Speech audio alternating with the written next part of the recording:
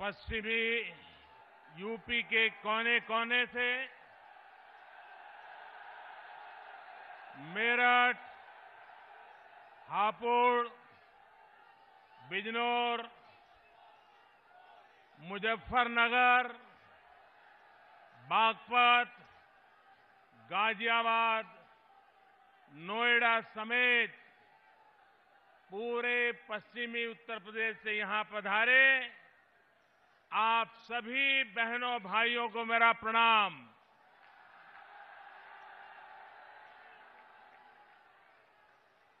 दिल्ली ही नहीं, दुनिया का मीडिया पूरब पश्चिम, उत्तर, दक्षिण, जिसे भी 2019 का जनादेश देखना हो वही जनसलाब को देख सकता है।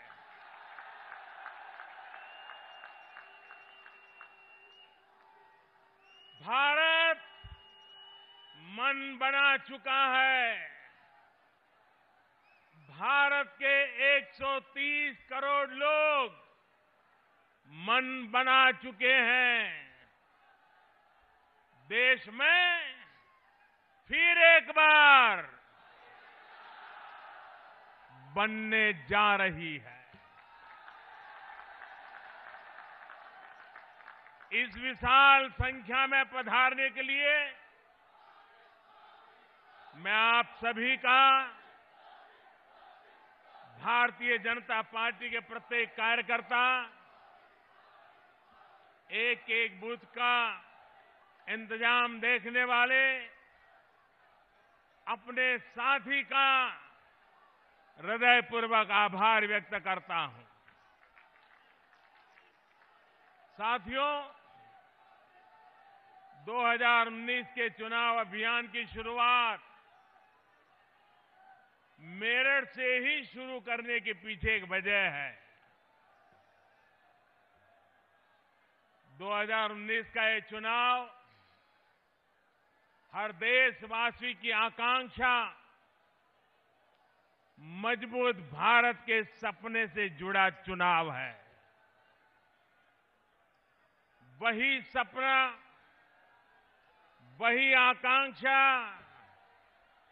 जिसमें, जिसे दिल में लिए अठारह सौ सत्तावन में इसी मेरठ क्षेत्र में स्वतंत्रता के आंदोलन का पहला बिगुल फूंका गया था।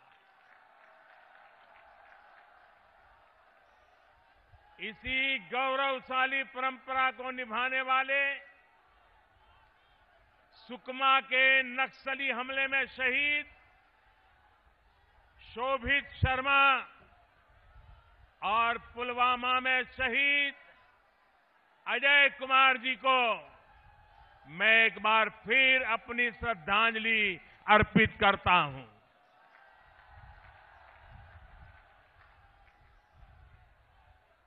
हम सबके आदरणीय चौधरी चरण सिंह जी को भी मैं नमन करता हूँ।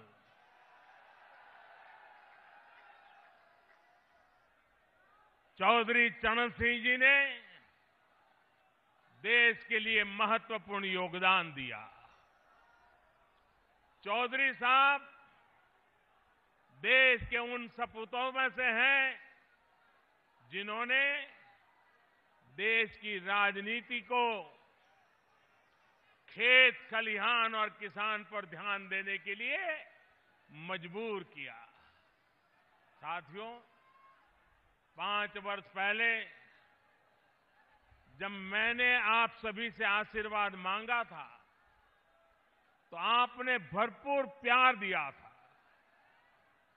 मैंने आपसे कहा था कि आपके प्यार को आपके आशीर्वाद को मैं ब्याज सहित लौटाऊँगा।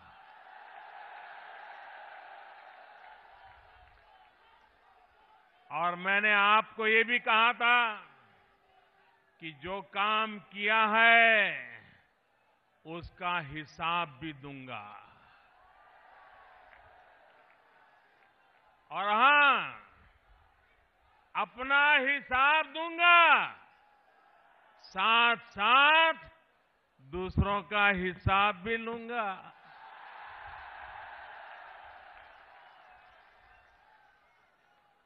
ये दोनों काम साथ साथ चलने वाले हैं। और तभी तो होगा हिसाब बराबर।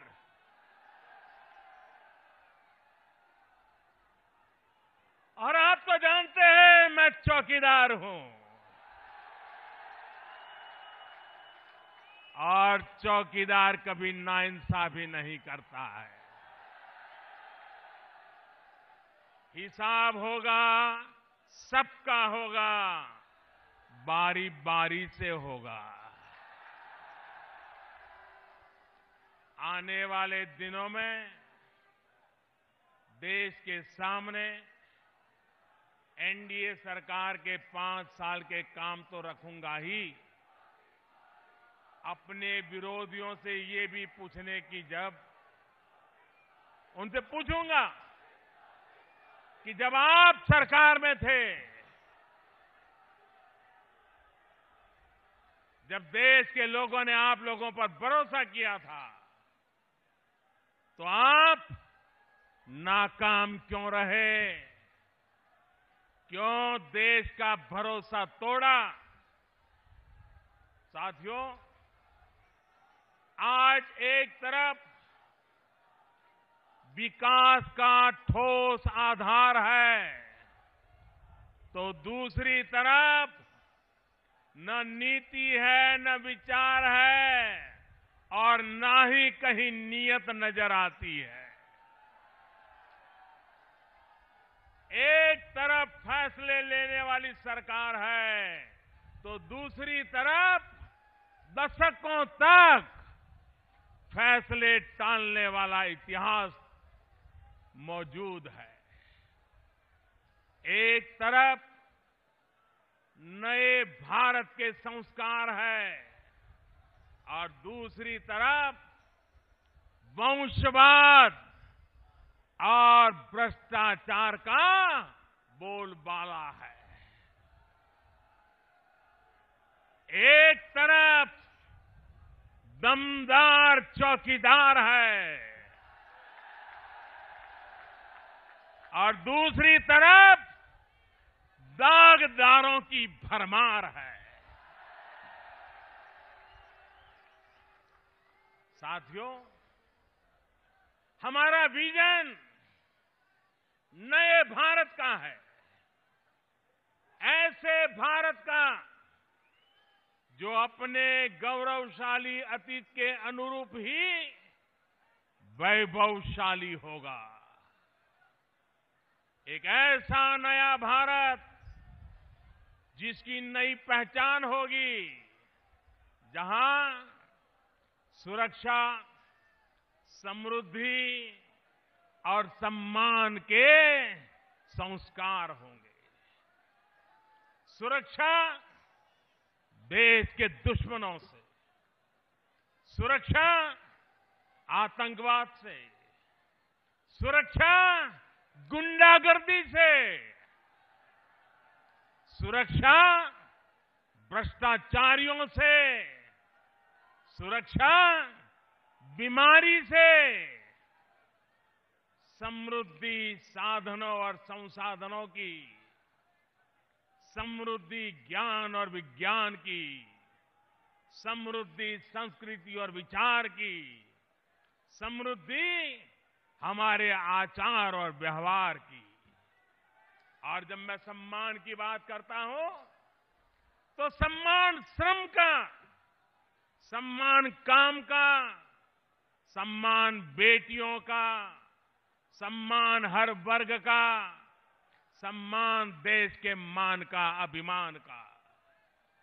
भाइयों और बहनों, इस देश ने सिर्फ़ नारे लगाने वाली सरकारें बहुत देखी है, लेकिन पहली बार ऐसी निर्णायक सरकार भी देख रहा है जो अपने संकल्प को सिद्ध करना जानती है।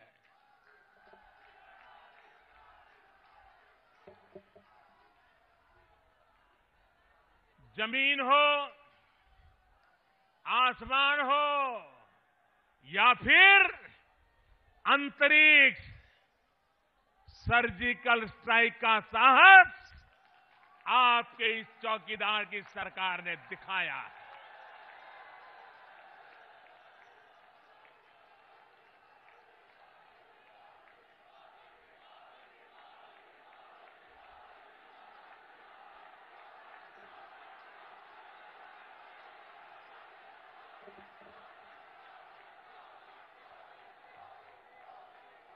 चार दशक से, चालीस साल से हमारे सैनिक वन रैंक, वन पेंशन मांग रहे थे।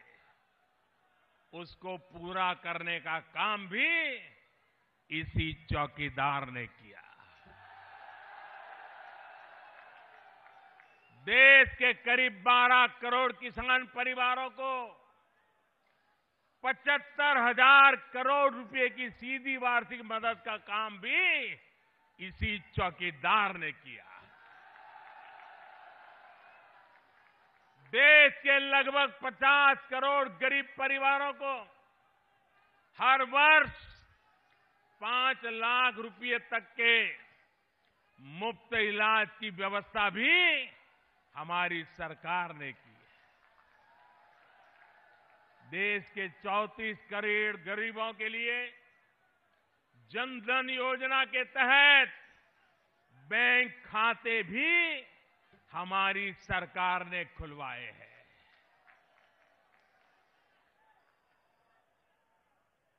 और जब मैं बैंक खाते खुलवाता था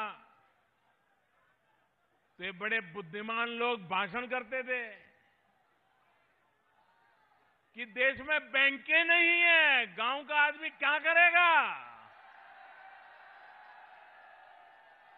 ऐसा कहते थे कि नहीं कहते थे?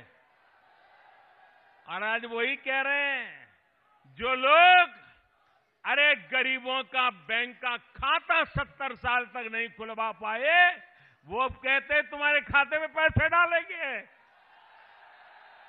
कोई भरोसा करेगा क्या? अरे जो खाता नहीं खुलवा सकता है, वो खाते में डाल सकता है क्या?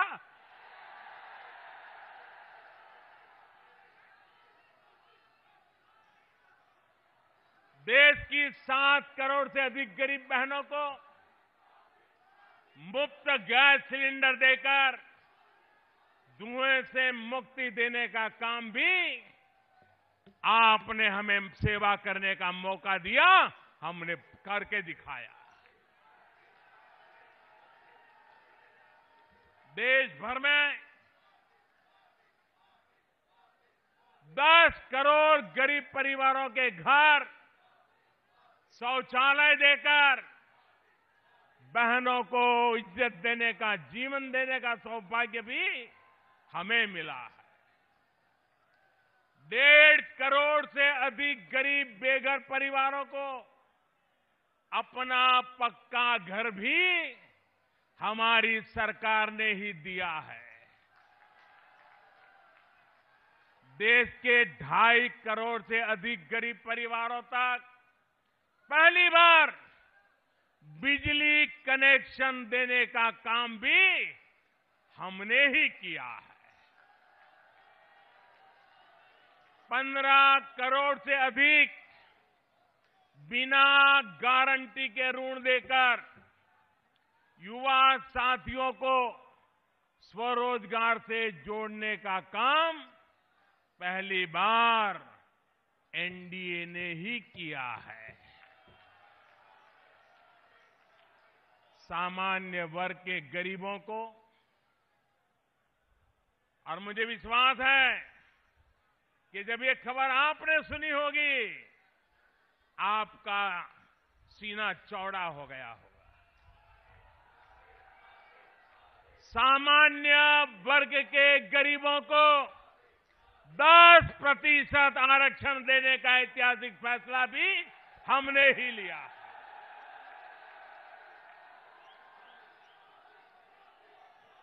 देश के ईमानदार करदाताओं को पाँच लाख रुपए तक की कर कर योग्य आय पर टैक्स ज़ीरो करने का रिकॉर्ड भी हम ने बनाया है। साथियों, समाज का ऐसा कोई व्यक्ति नहीं है और देश का ऐसा कोई कोना नहीं है जो विकास के हमारे इन कामों से अछूत रहा हो।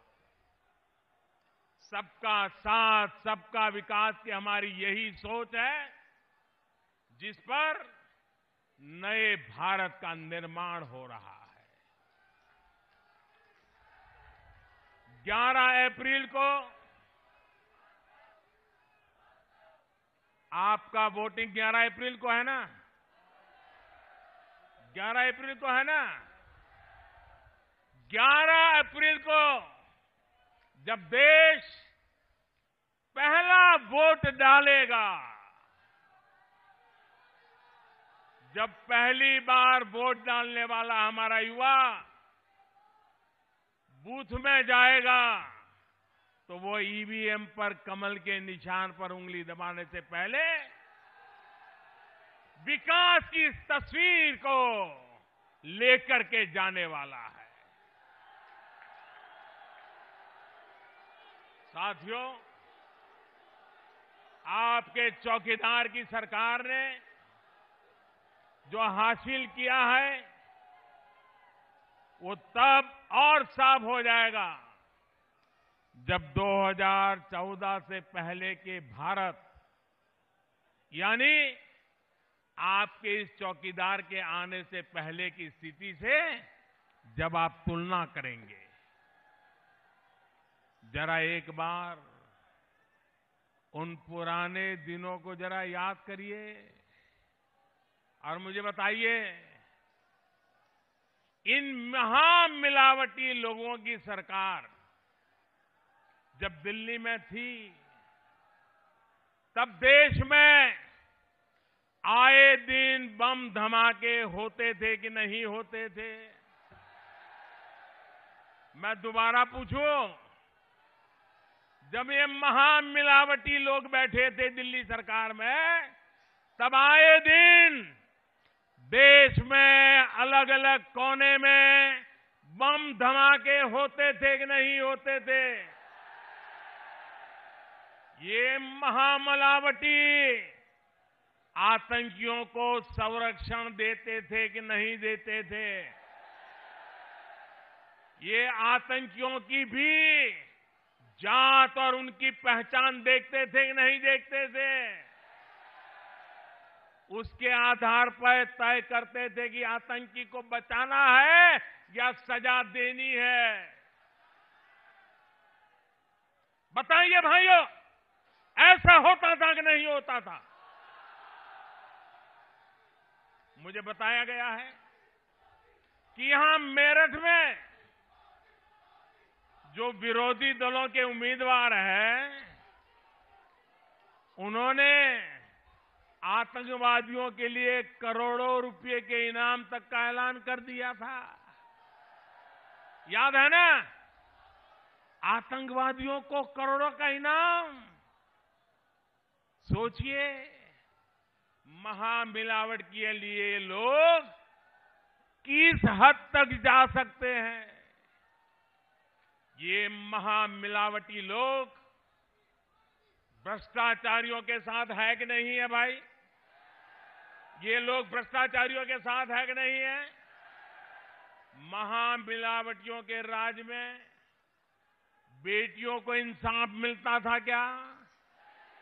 मेरठ वाले तो बराबर जानते हैं। क्या बेटियों को इंसाफ मिलता था क्या? इनकी सरकार में गुंडे और बदमाश बेलगाम थे कि नहीं थे? क्या ऐसी महामिलावट के हाथ में देश सुरक्षित रहेगा? देश सुरक्षित रहेगा? देश सुरक्षित रहेगा? साथियों, मेरठ और पश्चिमी यूपी तो इनके कारनामों को भुगत चुका है। जब से योगी जी की सरकार आई है,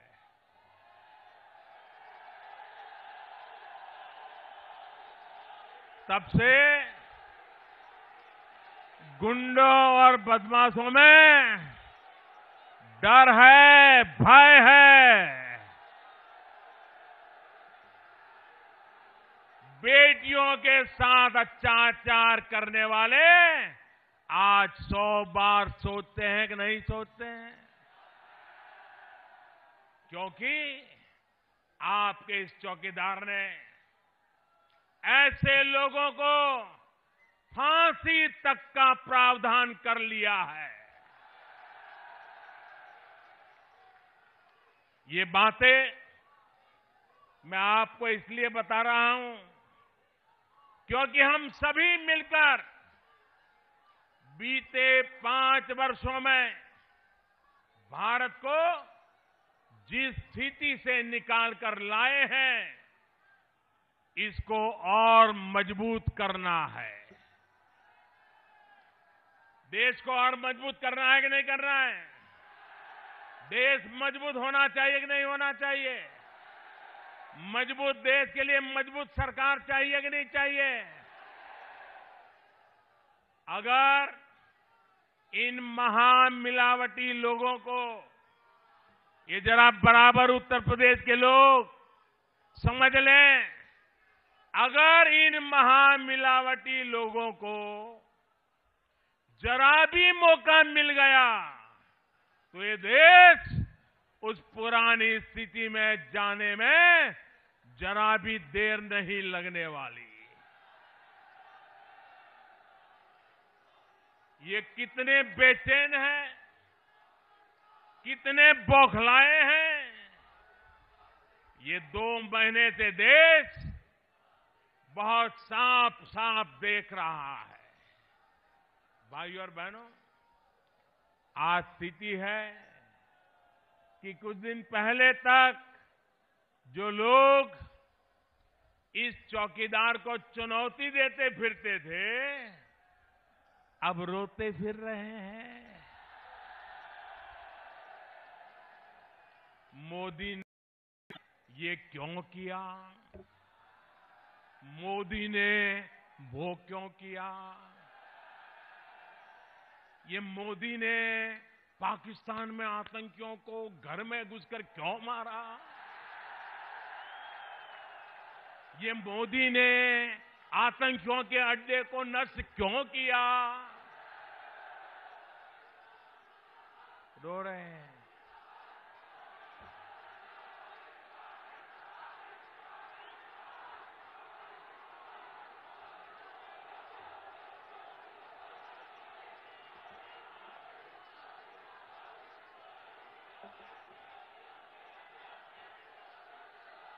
साथियों एक गंभीर बात की ओर आपका ध्यान दिलाना चाहता हूँ।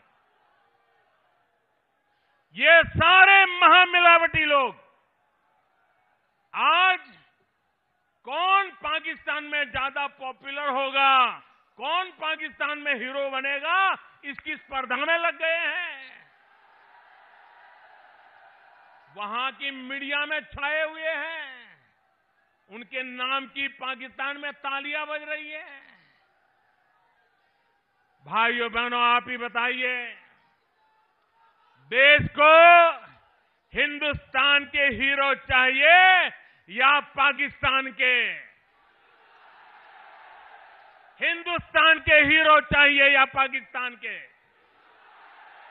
मेरे प्यारे देशवासियों, मैं 130 करोड़ देशवासियों से पूछना चाहता हूँ, क्या क्या हमें सबूत चाहिए कि हमें सपूत चाहिए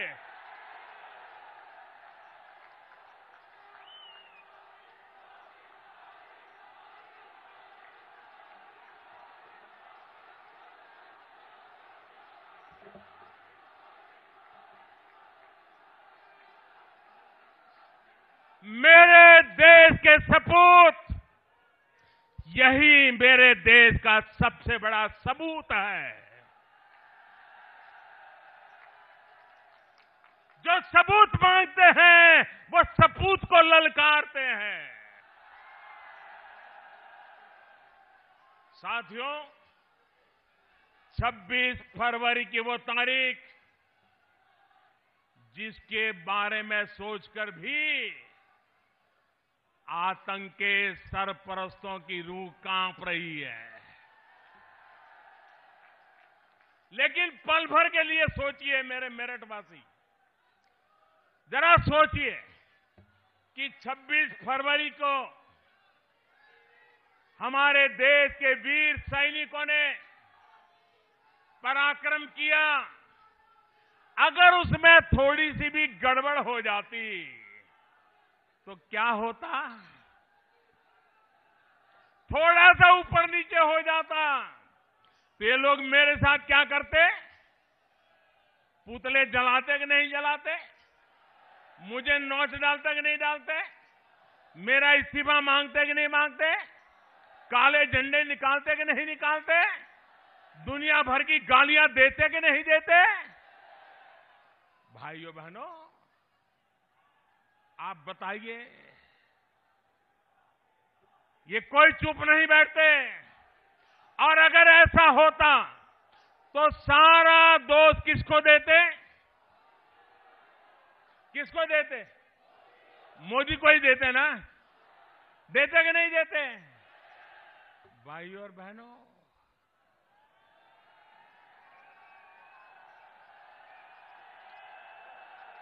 आप आश्वस्त रहिए। मैं देश के लिए अपना सब कुछ दांव पर लगाने के लिए तैयार रहने वाला व्यक्ति हूँ। कोई भी राजनीतिक दबाव, कोई भी अंतर्राष्ट्रीय दबाव आपके इस चौकीदार को डिगा नहीं पाएगा। और नहीं कोई इस चौकीदार को डरा पाएगा। मैं किसी तरह का बोझ लेकर के नहीं चलता। और बोझ रखू भी क्यों? मेरे पास अपना है भी क्या? जो कुछ भी है, वो तो देश का दिया हुआ है। आपका दिया हुआ है।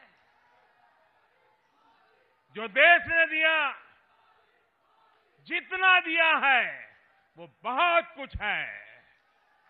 अरे चिंता तो उनको होती है, जो कुछ खोने से डरता है। जिसको वंश और विरासत के बारे में सोचना है, नियत में खोट उसकी आती है, जिसको सिर्फ़ और सिर्फ़ अपने परिवारों के हितों के बारे में सोचना है। भाइयों और बहनों, कल भी आपने देखा होगा कैसे अंतरिक्ष में हासिल की गई हमारे देश की महान उपलब्धि को इन लोगों ने नजरअंदाज किया। कैसी कैसी बातें बोली? मैं तो हैरान हूँ। मुझे तो उनकी बुद्धिमत्ता पर भी सवाल उठने लगे हैं।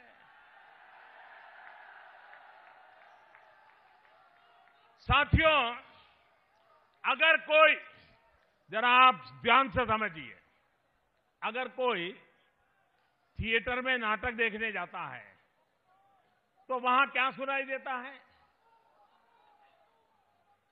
वहाँ सुनाई देता है, अरे चलो भाई सेट तैयार है क्या? अरे सेट रेडी है क्या? अरे भाई सेट लगा दो। अरे सेट लागू हुआ होगा गया नहीं? ऐसा आता ही नहीं शब्द? थिएटर में जहाँ ड्रामा होता है, वहाँ सेट की सजावट, नया सीन आएगा तो नया सेट। ये सेट शब्द थिएटर में बड़ा कॉमन होता है। बार बार सुनाई देता है। कुछ बुद्धिमान लोग ऐसे हैं, जब कल मैं ए सेट की बात करता था तो कंफ्यूज हो गए। समझे कि मैं थिएटर के सेट की बात कर रहा हूँ।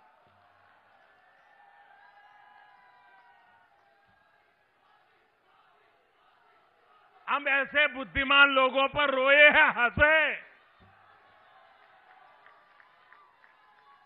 जिनको थिएटर का सेट और अंतरिक्ष में anti satellite mission A SAT का समझ तक नहीं है।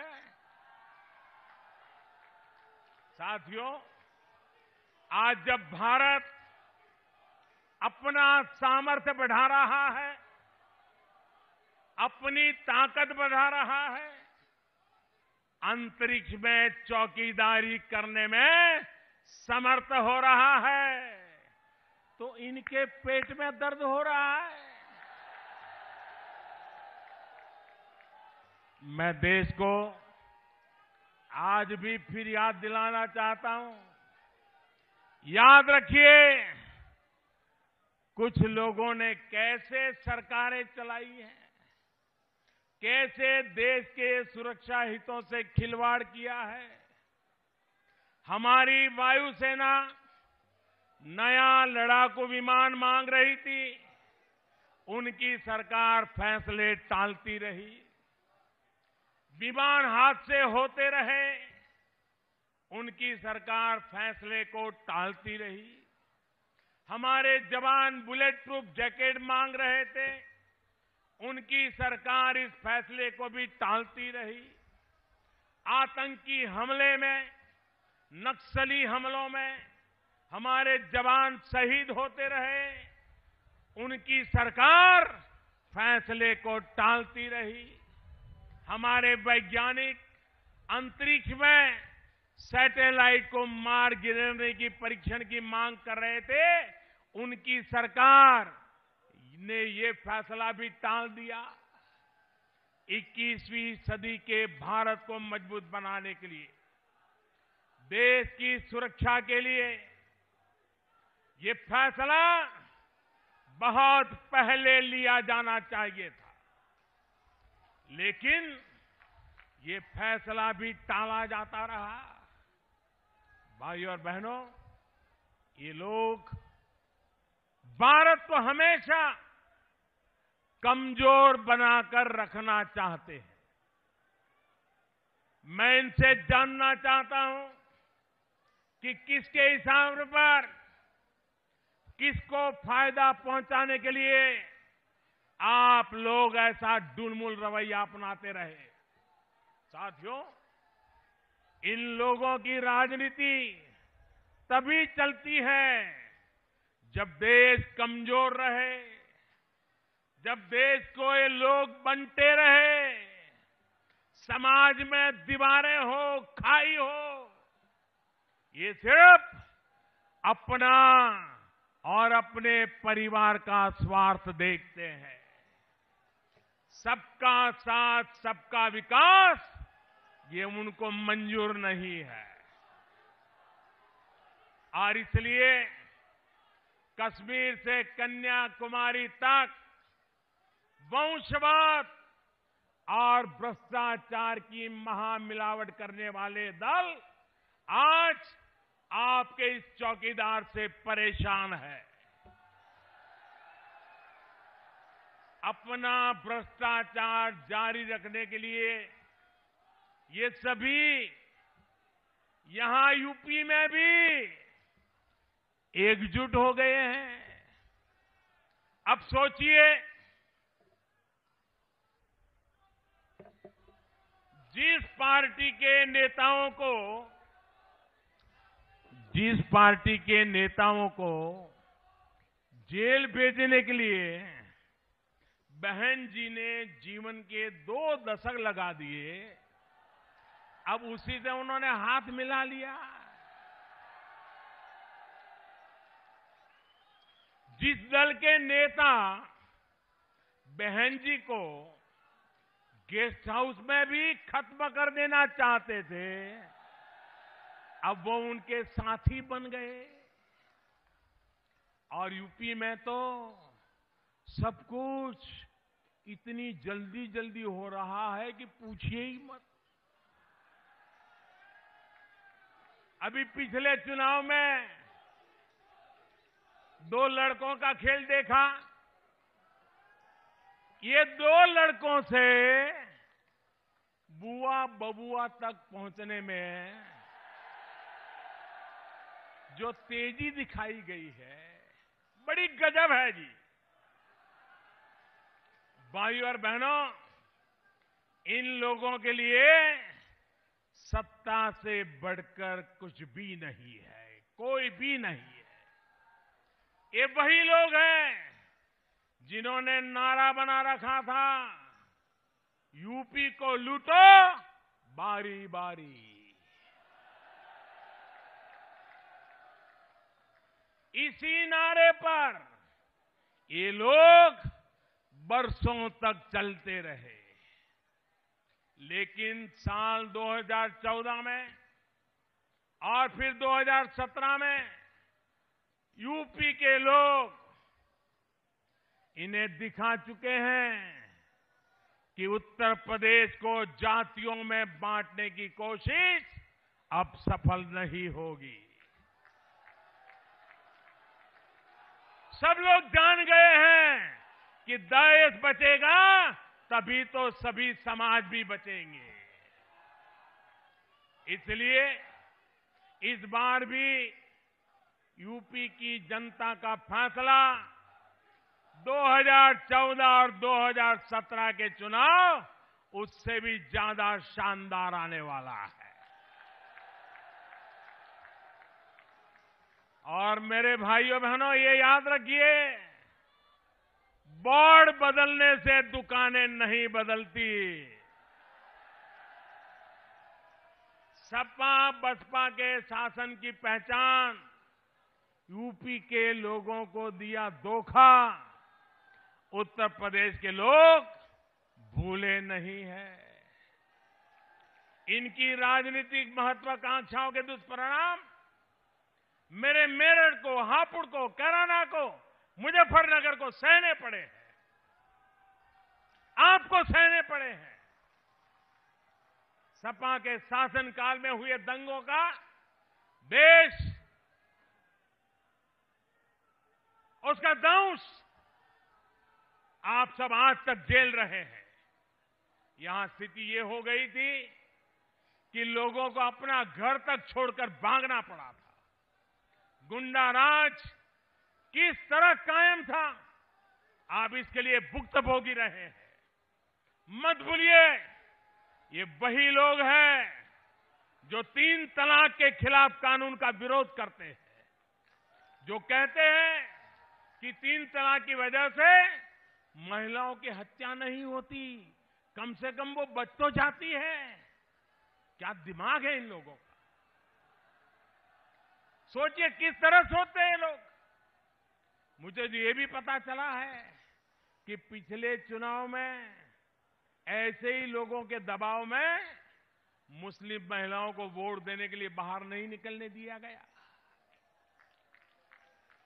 मैं हर मतदाता से आग्रह करूँगा, कितना भी दबाव हो, आपके वोट के अधिकार को जाने मत दीजिए। हिंदू हो, मुसलमान हो, भाई हो, बहन हो युवा हो, शहरी हो, ग्रामीण हो, हर किसी ने वोट करना चाहिए। और इसलिए जो आप पर अत्याचार करते हैं, उनके खिलाफ, अत्याचार करते हैं उनके खिलाफ, उनकी हरकतों को, उनके बयानों को, आप भूले नहीं। उन्हें सजा देने के लिए 11 अप्रैल को अपने घर से ज़रूर बाहर निकले। भाई और बहनों, आप सभी साक्षी हैं कि कैसे इन्होंने यूपी के नौजवानों को भी धोखा दिया है। उन्हें भर्ती के नाम पर ठगा है। मेरठ शहीद यूपी के हज़ारों नौजवानों का भविष्य कैसे कोर्ट कचहरी की फाइलों में दबा दिया गया था। मैं बधाई दूँगा योगी जी को। उनकी टीम को उन्होंने इन महामिलावटी लोगों के पाप से, से बाहर निकालने का प्रयास किया। अब जो भर्तियाँ हो रही है उससे पश्चिम यूपी के हज़ारों युवा साथियों को लाभ हो रहा है। साथियों यही स्थिति गन्ना किसानों की थी।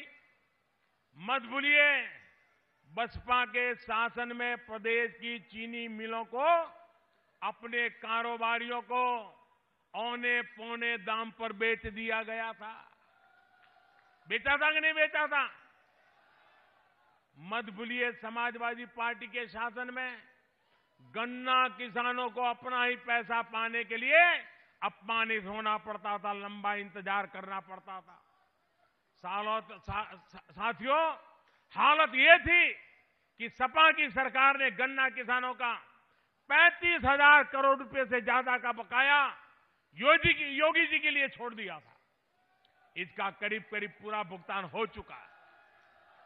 इसके बाद पेराई सत्रों का भी बाईस हज़ार करोड़ का भुगतान हो चुका है।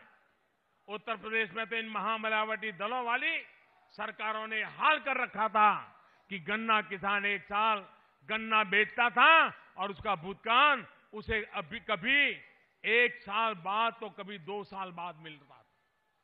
अब भाजपा की सरकार में इस साल का पैसा इसी साल मिल रहा है। मुझे पता है कि अभी गन्ना किसानों का बकाया है, पर मैं आपको भरोसा दिलाता हूँ कि आपकी एक एक पाइप दिलाई जाएगी। यहाँ पर हमारे मुख्यमंत्री योगी जी है, वो आपकी एक एक पाइप दिलाएँगे और बहुत जल्द दिलाएँगे। भाई और बहनों, देश का किसान हमारे लिए अन्नदाता है। किसानों के लिए ऐतिहासिक कदम हमारी सरकार ने उठाए। दशकों दशकों से लागत का डेढ़ गुना समर्थन मूल्य देने की मांग आप सभी की रही है। उसको भी हमने पूरा कर लिया है। यहाँ आए अनेक किसान साथियों को भी पीएम किसान सम्मान निधि की पहली किस्त सीधे बैंक खाते में अब तक मिल चुकी है। जिनको नहीं मिली है, उसके खाते में भी बहुत जल्द पहली किस्त पहुँच जाएगी। अब तो दूसरी किस्त का समय भी आ गया है। इसी तरह साल में तीन बार, हर फ़सल से पहले छोटे किसानों को हर वर्ष ये मदद मिलती रहेगी। यूपी के दो करोड़ से अधिक किसान परिवारों को हर वर्ष मिल, ये लाभ मिलने वाला है। साथियों, मेरठ और पश्चिमी यूपी में किसानों के लिए, यहाँ के नौजवानों के लिए, कामगारों के लिए एक और बहुत बड़ा काम हुआ है। ये काम हुआ है कनेक्टिविटी का। मेरठ को आज से करीब चौतीस साल पहले ही नेशनल कैपिटल रीजन में शामिल कर लिया गया था। पर यहाँ की स्थिति क्या थी, ये आप लोग बेहतर जानते हैं। भाई और बहनों 2014 के बाद हमने इस पूरे क्षेत्र को तेज और आधुनिक यातायात से जोड़ने का बिड़ा उठाया। कुछ दिन पहले ही देश के पहले regional rapid rail transit system, यानी आरआरटीएस का शिलान्यास किया गया। इस सिस्टम के बन जाने के बाद मेरठ और दिल्ली के बीच में मेट्रो रेल जैसा सिस्टम बन जाएगा। इसके साथ साथ दिल्ली से मेरठ को जोड़ने वाले आधुनिक हाईवे का काम भी अब पूरा होने को है। इन तमाम सुविधाओं से यहाँ से दिल्ली की दूरी करीब करीब एक ही घंटा रह जाएगी। इसके अलावा मेरठ से प्रयागराज तक गंगा एक्सप्रेसवे समेत तमाम सड़क और हाईवे प्रोजेक्ट पूरे पश्चिमी उत्तर प्रदेश में तैयार हो रहे हैं। मेरठ को हाईवे और रेलवे के साथ ही एयरवे कनेक्टिविटी के ज़रिए देश के हवाई नक्शे पर लाया जा रहा। है उड़ान योजना के अंतर्गत एयरपोर्ट और मेरठ में पासपोर्ट केंद्र की स्थापना का लाभ भी मेरठ के लोगों और यहाँ के उद्योगों को मिलने जा रहा। है साथियों, यहाँ के लोगों का जीवन आसान बनाने वाले, यहाँ की स्पोर्ट्स इंडस्ट्री को मज़बूत करने वाले, विकास के सारे काम पहले भी हो सकते थे, लेकिन पहले की सरकारों की नीयत ठीक नहीं थी। मुझे खुशी होती है अगर बहन जी ने भी कभी मुझे चिट्ठी लिखी होती कि मेरठ में ये काम करना है, इस सड़क को बनाया जाना है, लेकिन उन्होंने ऐसा कभी नहीं किया। मुझे खुशी होती अगर अखिलेश जी ने गरीबों के घर का मुद्दा उठाया होता, गैस का सिलेंडर अधिक से अधिक लोगों तक पहुँचाए, इसको लेकर टेलीफोन किया होता, चिट्ठी लिखी होती। मुझे खुशी होती अगर चौधरी अजीत सिंह जी किसानों की समस्या लेकर कभी मेरे पास आते, मुझसे चर्चा करते, अपने सुझाव बताते। लेकिन इनकी मनसा तो सिर्फ़ जाति पंथ संप्रदाय, इसी से वोटों को साधने के चक्कर में ये हमेशा रहते हैं। और यही काम वो करते रहते हैं। साथियों, आज वाकई चौधरी चरण सिंह जी के कितने दुखी होते होंगे। जिस गरीब के लिए, जिस किसान के लिए उन्होंने अपना जीवन समर्पित कर दिया, उसे सपा, बसपा और कांग्रेस द्वारा कितना नुकसान पहुँचाया गया है। खासकर कांग्रेस की तो किसान नेताओं से विशेष दुश्मनी रही है। यही वजह है कि आपातकाल के दौरान चौधरी साहब को जेल में डाल दिया गया था। चौधरी साहब को प्रधानमंत्री पद से हटाने में भी कांग्रेस की भूमिका थी। मत भूलिए, देश के एक और महान किसान नेता, दीनबंधु छोटू राम जी के साथ भी कांग्रेस ने यही किया था। वो किसानों के लिए काम करना चाहते थे, इसलिए कांग्रेस ने उन्हें इस्तीफा देने पर मज़बूत कर दिया था। मजबूर कर दिया था। ये मेरा सौभाग्य है कि पिछली साल मुझे रोहतक में सर छोटू राम जी की सबसे ऊँची प्रतिमा का लोकार्पण करने का अवसर मिला। साथियों, भाजपा सरकार चौधरी चरण सिंह जी दिन बंधु छोटू राम के सपनों को पूरा करने के लिए काम कर रही है। देश का किसान मज़बूत होगा, देश का गरीब सशक्त होगा, तभी देश भी मज़बूत होगा। साथियों, लेकिन इन सब के बीच हमें सतर्क रहने की ज़रूरत है, जागरूक रहने की ज़रूरत है। भाई और बहनों, जब मैं आठ दस साल की उम्र का था, तब सुना करता था कि सरकार गरीबी हटाने के बारे में बात कर रही है। जब 20-22 साल का हुआ तो इंदिरा जी भी यही कहती रही गरीबी हटाएँगे। इसके बाद भी चार चार पीढ़ियाँ एक ही बात करती रही, वो तो आगे बढ़ते गए। गरीब गरीब होता गया, गरीबी बढ़ती गई। आज़ादी के बाद, पिछले बहत्तर वर्षों में कांग्रेस ने जीता, गरीबों के साथ गद्दारी की है। उसे देखते हुए आज देश का गरीब ये संकल्प कर चुका है। कि कांग्रेस हटाओ, गरीबी अपने आप हट जाएगी। गरीबी तब हटेगी जब कांग्रेस हर कोने से हटेगी। कांग्रेस का बहत्तर साल का काम खुद अपनी गवाही दे रहा है। गरीब को धोखा देने के लिए, गरीब को गरीब बनाए रखने के लिए कांग्रेस ने जो जो पैंतरे अपनाए हैं वो गिनाने लगे तो शायद महीने भर मुझे बोलता रहना पड़ेगा। मुझे पता है, गरीबों के साथ गद्दारी करने वाली कांग्रेस को देश का गरीब अब पूरी तरह हटाकर ही दम लेने वाला। भाई और बहनों, अठारह सौ सत्तावन के संग्राम में जन जागरण के लिए कमल के फूल और रोटी का प्रयोग किया गया था। कमल को राष्ट्रीयता के प्रतीक के रूप में प्रसारित किया गया था। आज जब हम नए भारत का संकल्प ले रहे हैं तो फिर उसी कमल के ज़रिए हम सबको एकजुट होकर आगे बढ़ना है। भाई और बहनों, जब आप सभी का समर्थन मिलता है, तभी एक मज़बूत और निर्णायक सरकार बनती है। आपकी मज़बूत और निर्णायक सरकार आपके लिए और आने वाली पीढ़ी के लिए एक नए भारत का सपना देखा है। एक ऐसा नया भारत जो विश्व में सबसे साफ़ और भ्रष्टाचार मुक्त लोकतंत्र के रूप में सम्मानित होगा। एक ऐसा नया भारत जहाँ हर व्यक्ति को मूलभूत सुविधाएँ उपलब्ध होगी।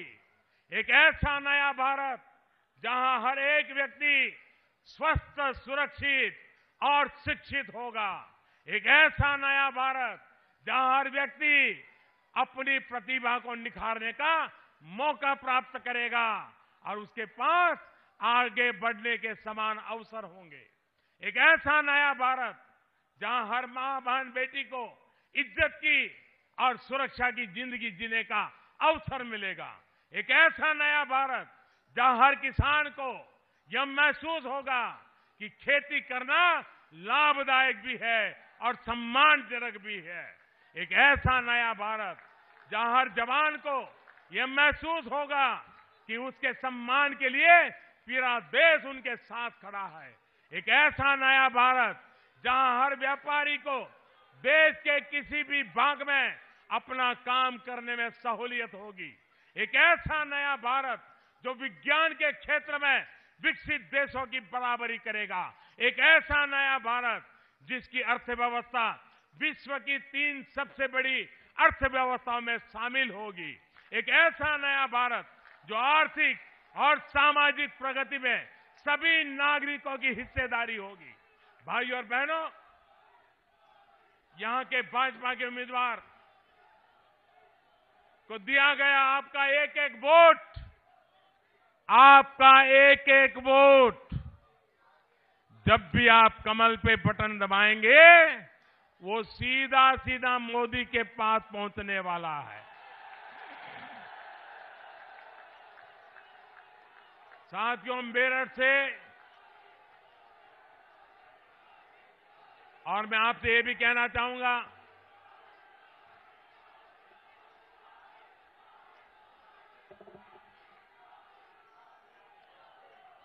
यहाँ पर महामिलावट में भी कौन ज़्यादा मिलावट करता है इस पर स्पर्धा लग गई। एक तरफ़ सपा, बसपा और आरएलडी यहाँ पर है अब इसको जरा अलग तरीके से देखिए। सपा का स आरएलडी का र, और बसपा का ब। मतलब शराब। अच्छी सेहत के लिए शराब से बचना चाहिए नहीं बचना चाहिए? उत्तर प्रदेश की अच्छी सेहत के लिए शराब से बचना चाहिए कि नहीं बचना चाहिए? अच्छे भारत के भविष्य के लिए शराब से बचना चाहिए कि नहीं बचना चाहिए? तो सपा, आरएलडी, बसपा, ये शराब आपको बर्बाद कर देगी।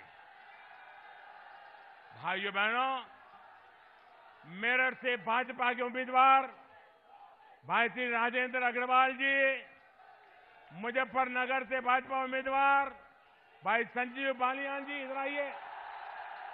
यहाँ खड़े यहाँ खड़े।